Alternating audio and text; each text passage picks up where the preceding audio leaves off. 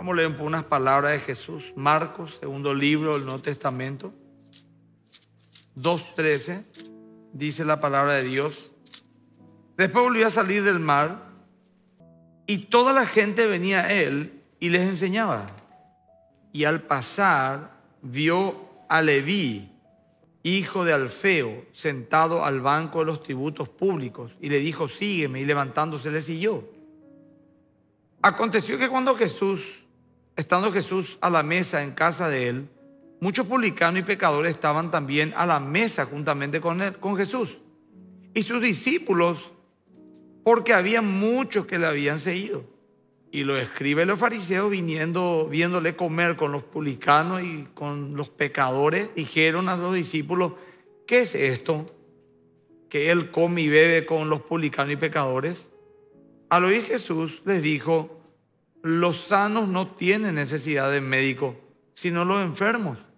No he venido a llamar a justos, sino a pecadores. Jesús vino para ellos. La mayoría cree que Jesús buscará a los buenos y rechazará a los malos, ¿verdad? Y generalmente cree que Él es parte de los buenos. Eh, claro, entendiendo bueno, comparándose Él con algún marginal a lo mejor de la sociedad, ¿verdad? Pero si se compara con Cristo, que es nuestro parámetro, se da cuenta que es un pecador también. Ahora, eh, en Marcos 10, 18, claramente Jesús dice, no hay ni uno bueno. ¿Cuánto bueno hay? Ni uno. Solo uno, dice, Dios. Y luego Pablo en el capítulo 3 romano, viste los análisis de sangre, vos te vas a hacerte un análisis de sangre, ¿verdad? Te quitan así, nomás una jeringa un poquito, no te quitan 5 litros. Un poquito te quitan y después unos días te mandan el resultado. Y lo que ahí aparece está en todos los lugares, ¿sí o no? Entonces, eso más o menos es el análisis de sangre de la humanidad. Como que Dios quitó un poquito así de, de humanos, los analizó y dijo, bueno, estos son todos ustedes. Y miren ustedes y díganme si no es así. Romanos capítulo 3, versículo 10. Como está escrito, no hay justo ni aún uno. No hay quien entienda. No hay quien busque a Dios.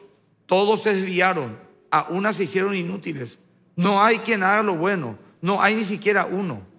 Y acá, sepulcro abierto su garganta, con su lengua engañan, veneno de serpiente hay debajo de sus labios, su boca está llena de maldición y amargura, sus pies se apresuran para derramar sangre, quebranto y desventura hay en su camino. No conocieron camino de paz, no hay temor de Dios delante de sus ojos. Esto es como acá te, más o menos te diga el triglicérido, el colesterol, la glucosa, así mismo esto es. Solamente que esto salió todo mal. No, no, es que está dentro del rango, todo fuera de rango en la raza humana. Somos así. Ahora, Dios vino a los pecadores. Qué gran verdad. Jesús le dijo en Juan 3:16, que es el corazón de la Biblia, el corazón, el centro de la Biblia. Ahí está comprimido todo el Evangelio. Porque de tal manera amó Dios al mundo. Palabra de Jesús. Que ha dado a su Hijo unigénito para que todo aquel que en él cree no se pierda, mas tenga vida eterna. Claramente Jesús, lo impactante es, en Juan 3:17 dice también, porque no envió a Dios a su Hijo al mundo para condenar al mundo, sino para que el mundo sea salvo por él. Esto le está diciendo a quién? A un maestro de la ley, a un sacerdote, a un líder, a un referente, a un hombre intachable, a un hombre moralmente hablando irreprochable, Nicodemo. Y le dijo, Jesús, Nicodemo, sos todo lo que dije yo recién ahora, más muchas cosas, pero vos no alcanzás la salvación. No se trata tu fuerza, no se trata tu currículo, no se trata tu moralidad, se trata de mí, de Dios. Porque de tal manera amó Dios al mundo. Y el mundo habla de la humanidad, que dio a su Hijo unigénito para que todo el que en él crea no se pierda y tenga vida eterna. Si eso le dijo a un hombre socialmente aceptado, amado, respetado, ¿qué le va a decir a aquel que es despreciado? ¿Qué esperanza tendrá? Si el que alcanza los niveles más elevados de moralidad para nosotros le dice al Señor no alcanzas, ¿dónde queda el común y corriente? ¿Dónde quedamos nosotros? Pero claramente el mensaje del Evangelio es una buena noticia para aquel que sea consciente de su propia miseria. Consciente de su propia miseria. En Gálatas 3.8 que dice, Voy a ir un poco rápido porque tengo muchos versículos. Dice, y la escritura, previendo que Dios había de justificar por la fe a los gentiles, dio de antemano la buena nueva a Abraham, buena nueva, es el Evangelio, diciendo, en ti serán benditas todas las naciones. De modo que los de la fe son bendecidos con el creyente Abraham. Acá el Señor le dice cómo iba a justificar a todos los pecadores. A través de la fe. Él vendría a rescatar a los pecadores y serían bendecidos por aquellos que son conscientes de su necesidad y de su miseria. Y es una muy buena noticia para que el que es consciente de su pecado. Si alguien mira, escucha esto con indiferencia, no ha sido consciente de su miseria. No se da cuenta que la única posibilidad de salvarse delante de Dios se le ha puesto enfrente y no lo está entendiendo. Cuesta entender las gracias. Que Dios te regale algo que no te mereces. ¿Saben por qué? Por el orgullo humano, por la autosuficiencia, eh, por la justicia propia. Yo merezco algo. Yo soy bueno. Eh, yo quiero un premio. Yo voy a tener una recompensa. Yo soy generoso. La iglesia no está llena de gente buena. La iglesia está llena de gente arrepentida. ¿Estamos de acuerdo, gente? Y ese arrepentimiento sincero a personas pecadoras los vuelve santos, apartados. El concepto de santo no es alguien así inmaculado, sino es apartado. Una persona que se arrepiente de sus pecados, empieza a estudiar la Biblia, a orar, a buscar de Dios y a predicar de Dios con todos sus defectos. Claro, a no ser que sea un gran hipócrita o una persona absolutamente inmoral, sino que con sus defectos normales ser humano con sus caídas normales, pero predica la palabra, se nota que quiere agradar a Dios, esa persona es para Dios un santo, un apartado. Y si la condición para ser cristiano es reconocer nuestra miseria, es reconocer nuestro pecado, es aceptar un regalo que no merecemos, para alcanzar una, una salvación gratuita, significa que somos la gente, o deberíamos ser la gente más humilde del mundo. Porque si vos sos cristiano, yo entiendo que pasaste por este proceso. Primero dijiste, soy un pecador. Con toda la vergüenza que eso implica. Segundo, al decir soy un pecador decís, yo no puedo salvarme por mí mismo. O sea, no tengo la capacidad de hacerlo. O sea, sos un inútil para lograr lo más básico que necesitas. Y si decís, dependo de Cristo como mi Salvador, está diciendo, otro el que me va a ayudar. Yo no voy a poder. Y todos esos pasos solamente los puede dar una persona humilde. Por eso es que yo no concibo creyentes soberbios. Yo personalmente no considero cristiana a un soberbio, a una soberbia. No me importa lo moral que sea. No considero cristiana. Podría tener rebatos de orgullo, todos los tenemos. Podríamos tener rebatos de, actitudes soberbias. De repente uno dice algo que no tendría que decir o actúa con soberbia, pero después se va a arrepentir. No, hay caso. Porque tanto condenamos y tenemos tanta boca para hablar mal de, de lo, aquellos que aparentemente y alevosamente son unos pecadores. Sin embargo, nosotros en nuestro corazón estamos llenos de juicio Estamos llenos de, de, autosuficiencia, como sociedad me refiero. Y también individualmente. Yo por lo menos le pido a Dios que me haga humilde. Todos los días le pido a Dios. Pero no eso que dice me siento orgulloso de ser humilde, porque ahí otra vez el orgullo se disfrazó de, de logro. Es profundo el corazón del hombre. Hay sabiduría en conocer. El hombre me refiero al género humano. La mujer también tiene un corazón profundo, para ser más claro. Y necesitamos ser humildes. La gracia, el regalo y merecido de Dios, mata el orgullo. La gracia está a favor de aquel que la sociedad rechaza. Cuidado de no estar del lado de los enemigos de Dios creyéndonos más justo porque Dios salva a aquel que consideramos un pecador. Miren que los fariseos dijeron, ¿qué hace ahí tu marido, perdón, tu maestro en la casa de estos publicanos? Pero publicanos, hermano, miren, yo le voy a explicar, eh, contextualizar el uso y costumbre de los judíos en los tiempos de Cristo. El publicano era un tan detestable hombre que si una mujer se casaba con uno, se consideraba más digno la que se acueste con un perro. O sea que una mujer que haga zoofilia era más digna que el que se casaba con un publicano. Todo buen judío debía proferir una maldición sobre un publicano que pase en la calle y escupir delante de sus pies. Si algún publicano por algún motivo comió en tu casa, te viste forzado a, darle y a, usar tu cuchara. Si era de madera tenía que ser quemada. Y si era de, otro material tenía que ser purificada, o sea, derretida de vuelta y vuelta a ser para purificar tu, tu... Ningún buen judío podría estirar la mano a un publicano que se está ahogando. Porque el publicano era un traidor a la patria.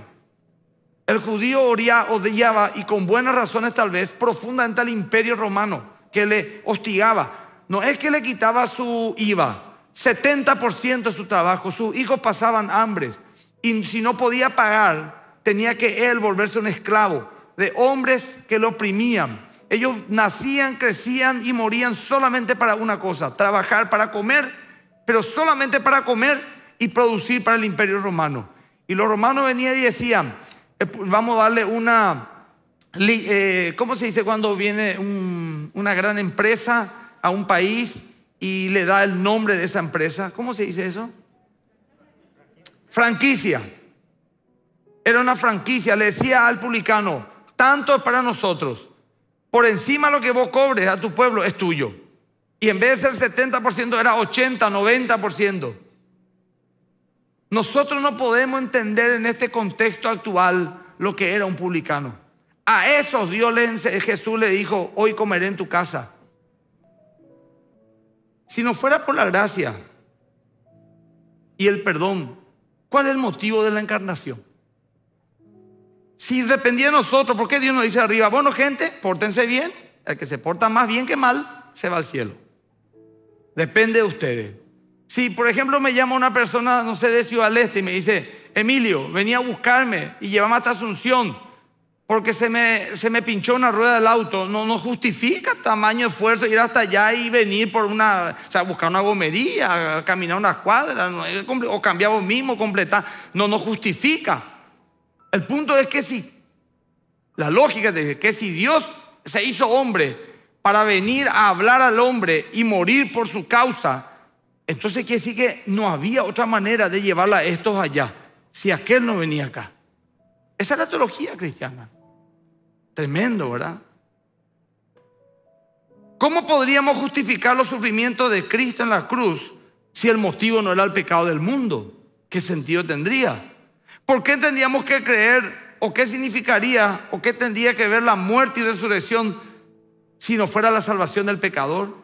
Y el mismo fundamento de nuestra fe nos habla de esto. Cuando en 1 Corintios 14, 15, 14 al 17 dice, y vamos a leer, 1 Corintios 14, 17. Y si Cristo no resucitó, van entonces nuestra predicación, van también nuestra fe. Y somos hallados falsos testigos de Dios, porque hemos testificado de Dios que Él resucitó a Cristo, el cual no resucitó, si en verdad los muertos no resucitan. Porque si los muertos no resucitan, tampoco Cristo resucitó. Y si Cristo no resucitó, vuestra fe es vana, aún estáis en vuestros pecados. Entonces, ¿cuál fue el problema acá para este trabalengua? Había un grupo de hermanos que se levantó y dijo, Cristo no resucitó, creemos en su obra, creemos todo, pero ¿qué? Los muertos no resucitan. Entonces Pablo dice, si Cristo no resucitó, nuestra fe no tiene sentido, porque su resurrección implica que Dios lo levantó de los muertos, quiere decir que su sacrificio fue acepto.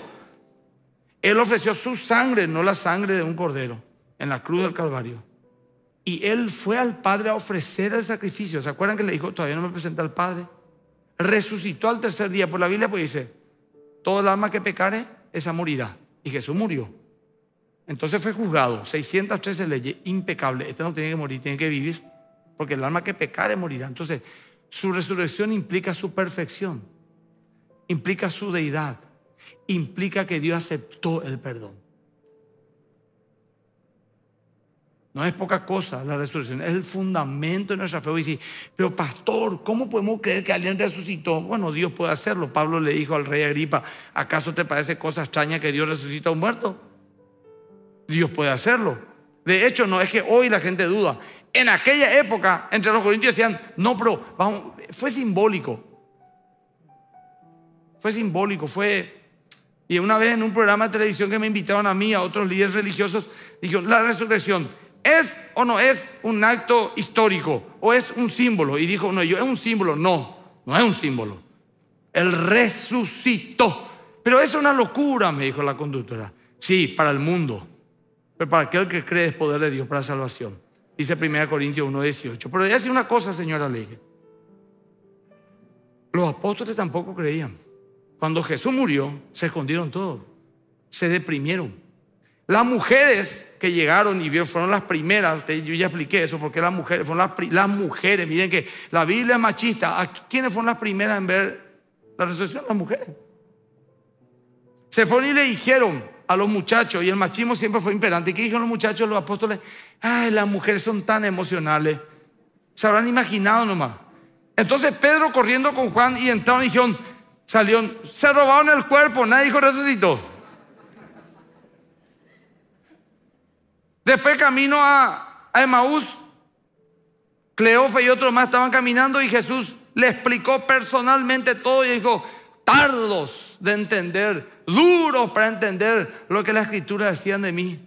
Porque él dijeron, vino un tal Jesús de Nazaret y murió y le mataron los romanos. Algunas mujeres dijeron que resucitó. Pedro corroboró que el cuerpo no estaba, se robaron al maestro. Nadie dijo resucitó. Y este mismo grupo que se escondió y se acobardó, recibió la visita de Jesús y Pedro vio y dijo, con todo lo medio, ese no es Jesús. Y empezaron a gritar, fantasma, fantasma. Ellos no creyeron. La Biblia está registrada eso. Luego recién que Tomás dijo, si no meto mi dedo al costado no creo. Ese ahí. Y vení, tac, tocó acá. No sea incrédulo, sino creyente. Y esos mismos hombres acobardados, según los registros históricos, salieron a predicar en la misma ciudad que 40 días antes le crucificaron, en la misma ciudad que Pedro negó a muerte y maldijo que no sabía quién era Jesús, ese hombre predicó. Y después de 70 años, el único vivo era Juan. Todos murieron lapidados, despellejados, quemados, perseguidos, en catacumba. No fue un buen negocio. Si era un invento, hubieran dicho, gente, vamos un poco. Esta, quisimos formar una nueva religión para vivir bien, pero al final, mirad lo que nos trajo: dolor, persecución. A, yo ya me dejo esto, ¿no? Nadie claudicó, nadie retrocedió, no uno, ni dos, ni tres locos. 500 testigos, dijo Pablo. Y cuando ya estaba muriendo Juan, en primera de Juan, el último, el único murió por causas naturales, a los 100 años, él dice lo que voy a leer ahora. Primera de Juan, capítulo 1. Y lo que era desde el principio, lo que hemos oído, lo que hemos visto con nuestros propios ojos, lo que hemos contemplado y palpado nuestras manos tocante al verbo de vida, Jesús y luego el y lo que hemos visto y oído, eso anunciamos para que también vosotros tengáis comunión con nosotros y nuestra comunión verdaderamente sea con el Padre, el Hijo, Jesucristo. ¿Sabes lo que Juan dijo 70 años después? No podemos negar lo que vimos, lo que tocamos, lo que olimos, lo que palpamos, lo que escuchamos. Imposible. Entonces esos hombres que reaccionaron como cualquiera de nosotros lo haría ante una noticia de una supuesta resurrección, dudaron, creyó que era un fantasma, hasta el punto que yo meto mi dedo y si no, no creo. Que las mujeres hablan de balde, que son emocionales. En la misma ciudad donde se escondió ni negaron a Cristo, predicaron valientemente el Evangelio. Y 70 años después de persecución, de muerte, de dolor, ellos dicen, seguimos firmes con lo que hemos visto, oído, palpado, menos como si me cree, cree, me cree, y si no, no. Pero yo no voy a retroceder. Porque ese puede ser testigo. Testigo, vamos a decir, yo fui testigo de ese crimen, pero no estaba en la ciudad en el momento que ocurrió. Eso fue un testigo. Testigo alguien que vio, ¿verdad? Si no es testigo, bueno, por eso nosotros somos testigos. Vimos, tocamos, palpamos, hablamos, comimos, nos hizo un desayuno una vez a la mañana. Nos dio delante de nuestros ojos subió al cielo. Le tapó una nube, le llevó, nos dio una instrucción. Y predicaste evangelio a todo el mundo, a toda criatura. Por eso hoy en Paraguay, al otro lado del mundo, dos mil años después, estamos hablando de él. Y vino a salvar al pecador. Atender por lo que esto es. Vino a salvar al que a nadie le quiere. O al que todos le quieren pero saben que no es bueno. O aquel que sencillamente es consciente de su miseria. A mí me preocupa muchísimo mi salvación. Si yo creo en Dios, escuchen, yo creo en Dios. Y Dios es justo, por definición es justo. ¿Qué significa justo? Que hace lo que tiene que hacer. Bueno, uno puede decir a un juez, permiso señor juez, usted es un juez justo, ¿verdad? Sí, soy justo, el más justo de todo acá. Muy bien, acá le traigo a este bandido que robó todo mi casa, le maltrató a mi familia, casi le mató a mi hija y casi le violó a mi mujer. Acá está, todos saben que es un delincuente y dice, wow, qué terrible hombre usted es. Así es, señor juez, condénelo. No, yo soy muy bueno. Le libero. Será muy bueno, pero justo no es. Porque no es justo eso. El que hace la paga. El juez justo va a decirle 10 años de cárcel. No, mátele. No, no, no. La ley dice 10 años. Yo soy justo. Yo soy ajustado a lo que dice la Biblia. La ley. Ese es justo. Entonces, se presenta, lo dice, ¿usted tiene antecedentes? Sí, tengo antecedentes. ¿Cuánto? Y robamos una armada, que esto, que aquello. No, este sí o sí tiene que ser condenado. Y después nos presentamos nosotros. A ver, el más bueno entre nosotros, según los datos que tenemos como iglesia, peca una vez al día. El más bueno entre nosotros. Está acá entre nosotros. Una vez al día peca. 365 veces falla a la ley de Dios al año. 3.650 veces en 10 años. Él tiene ahora 50 años. 5 por 3, 15, estamos. 20.000 delitos ya cometió. Puedo decir que va a zafar delante de Dios. Es el que peca una vez nomás, que, que es un sacrosanto, el mejor miembro de la iglesia. Después viene uno que peca dos veces, tres veces, diez veces, y después estamos todos los demás que pecamos 50 veces de palabras, de hechos, de obras y de omisiones y de pensamiento. Y si pecas cinco veces al día, entonces son cien mil delitos que tenés. Y te vas a presentar ante un juez justo que conoce todo. Él dice, yo conozco tu corazón, uh, lo que hiciste en oculto, lo que pensaste y lo que ni vos sabés que, que yo sí sé. Imposible. Imposible. Y en base a eso una vez yo hablé con una pareja, linda pareja de judíos, que viven en Israel, que hasta ahora me suelen escribir, antes me van a escribir dentro de poco, ya por fin de año, y que me dijeron, Mamá me llamó y dijo, acá hay una pareja de señores que te escuchan, que le llevan no sé qué cápsula, porque una de sus, no sé si su hijo o nieta venía acá y te quieren conocer. Y me fui a hablar con ellos, me pareció muy interesante. Eran judíos practicantes. Y hablando con ellos, una amena charla, no quise dejar de encontrar una posibilidad de hablarle de la fe cristiana. Era muy abierto y le dije yo, te paso una pregunta, hermano, con respecto a lo que cree el judaísmo en cuanto a la salvación de las almas. Sí, me dijo. ¿Cómo para un judío uno se salva, por ejemplo? Y guardando las leyes de Dios, me dijo. ¿Cuáles? Y bueno, los diez mandamientos, aparte un montón de reglas más que tenemos. Y usted cumple eso. Y nadie es perfecto. Dice. ¿Y cree que alguien puede cumplir eso? Por ejemplo, el rabino, usted. Y se miraron y dijeron, nuestro rabino es un gran hombre, pero la verdad es que no creo que tampoco cumpla eso. Yo conozco algo de las leyes judías, le dije, y dice la ley judía que el que se hace culpable, el que falla en uno, se hace culpable de todo. O sea que si cumplís 612 y las 13 no cumpliste, soy culpable de todo, sí es cierto. Entonces, ¿cómo, cómo te va al cielo? ¿Sabe qué me respondió? Muy buena pregunta. ¿Cómo te va al cielo? Entonces, como dice la música, creo que no sé si qué cantante dice, si no fuera por tu gracia y por tu amor. Hoy, esta mañana, es una gran noticia para el malo. Dios me ama, Dios me perdona. Para el humilde, dependo de Él. Ahora, para el orgulloso, para el que se cree bueno, para el que a todos les mira con el mentón levantado, para aquel que dice, ¿y quién es esa que está ahí? ¿Quién es que tal cosa el otro? Para el que tiene seis perfiles de Twitter. No fue una buena noticia. Una prostituta que seguramente está levantándose de su pecado, o algún corrupto que tanto odia a la sociedad, que esté ahora disfrutando de sus cosas, estaría camino al cielo y más cerca de Dios que, que el que se cree bueno. Yo quiero orar, hermanos, con ustedes. Y si hay una persona que vino por primera vez hoy y diga, yo soy un pecador, pastor, bien, Dios te acepta, te recibe, si te arrepentís. Y si vos decís, no, pero yo soy un buen tipo, pastor, no necesito eso, a más. Ya, ya fuiste, no hay esperanza para vos. Porque no vas a tener la capacidad de entender la gracia de Dios. Yo quiero orar contigo, dije, pero quiero orar arrodillado. Si es que te da el espacio y te da de repente, si te duele la rodilla por fe, me sano, decir, placta y clava tu rodilla. Vamos a orar y vamos a entrar a cuenta con Dios. Yo también me voy a arrodillar porque yo también soy un gran pecador.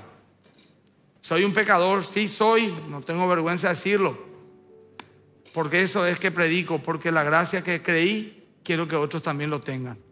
Y pídele a Dios perdón. Ahí está. No le mira a nadie. Estos momentos que vos estás solo frente al trono de la gracia. No es para levantar la cabeza y mirar si quién se arrodilló, si quién no. Y en la misericordia de Dios busquemos su perdón. Señor, te pedimos perdón de nuestros pecados. Te pedimos que nos hagas humildes. Y yo quiero que Cristo sea una realidad en mi vida, Señor. En el nombre de Jesús. Vamos a orar.